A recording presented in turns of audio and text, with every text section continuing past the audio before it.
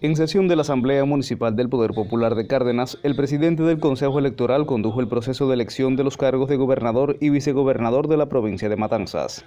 El diputado Elian González Bortón, designado por el Consejo de Estado para acompañar el ejercicio, presentó las propuestas del presidente de la República como indica la ley electoral. Para gobernador se propuso a Mario Sabines Lorenzo y como vicegobernadora a Marieta Caridad Poey Zamora. Las biografías de ambos fue circulada con más de 72 horas de antelación entre todos los delegados para su estudio. En el sufragio desarrollado en el Cine Teatro Cárdenas, las urnas fueron custodiadas por pioneros.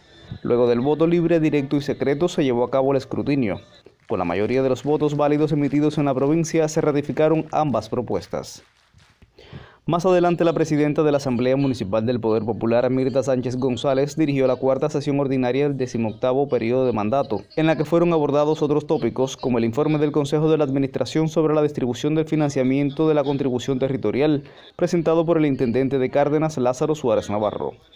Sánchez González expresó que todos los problemas del municipio no pueden resolverse con el dinero del 1% de la contribución local.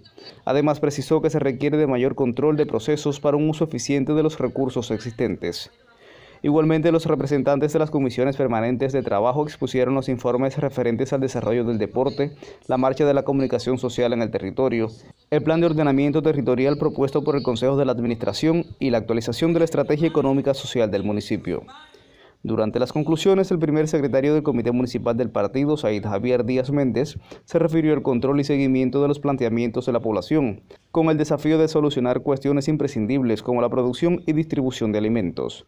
Llamó también a trabajar y brindar servicios con calidad, potenciar el apadrinamiento de las empresas a los barrios para la transformación de la comunidad. José Antonio Armas y Daniel Santiesteban, Sistema Informativo.